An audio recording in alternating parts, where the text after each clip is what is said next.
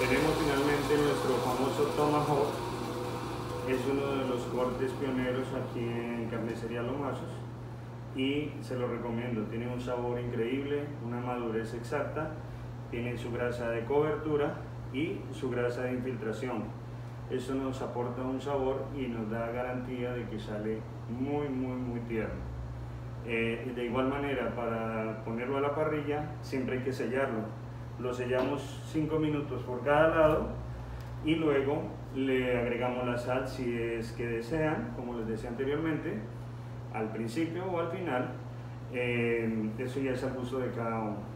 Eh, después le vamos a dar 10 minutos más por cada lado y finalmente unos 8 y 8. Esto nos garantiza un término medium rare, pero si lo desean más cocido, lo devuelven unos minutos más a la parrilla. Ese es nuestro tomahawk.